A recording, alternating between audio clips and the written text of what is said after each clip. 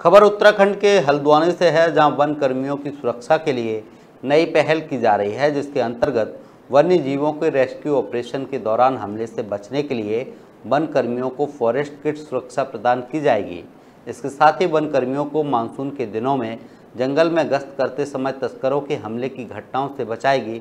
आपको बता दें कि मेटल से बनी यह किट इतनी मज़बूत है कि इस पर किसी भी तरह के हमले का कोई असर नहीं होता है। साथ ही इसमें लगे हैवी मेटल डिटेक्टर जंगल में उन खतरनाक चीज़ों का पता लगाएँगे जो वन्य जीवों को जंगल में तस्करों को मारने के लिए लगाई जाती हैं। फ़िलहाल तराई पूर्वी वन प्रभाग में दो किट मंगाई गई हैं। हल्द्वानी से दीपक अधिकारी की रिपोर्ट।